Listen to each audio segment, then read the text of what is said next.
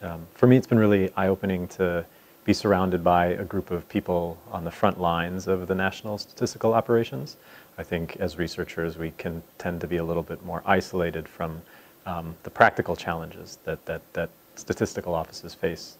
We tend to think of statistical offices as being our stakeholders, but it's interesting to hear about who the stakeholders are for the statistical offices um, and what they have to do to get sustained resources, to build capacity internally, um, to get funding and access to data, these are challenges that they face as well.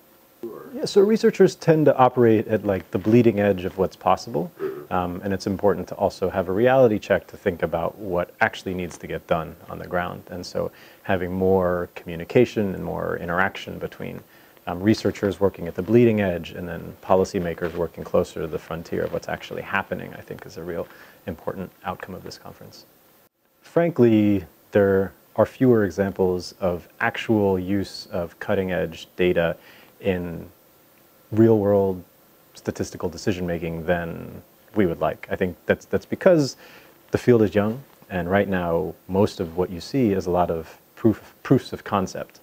Um, but I think what's needed, and this is really what's going to happen over the next few years, I think, is people taking those proofs of concepts and actually implementing them in um, real world decision making scenarios.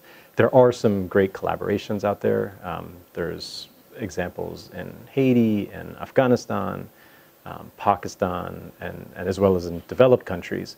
Of, but these are really just the seeds and beginnings of those collaborations where you see policymakers and statistical offices getting their hands on tools and exploring them and trying to think about how they might actually influence decisions, rather than polished examples of how this has been done to drive decisions in the past. I think, frankly, we're just not there yet.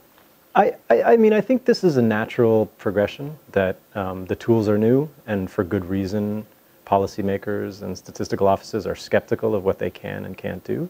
And so what's needed is just iteration, um, real careful validation, um, actually having good examples of um, statisticians working arm in arm with researchers and industry to drive these applications from sort of proof of concept in a paper to reality on the ground. And once you have these examples, um, I think others will follow suit.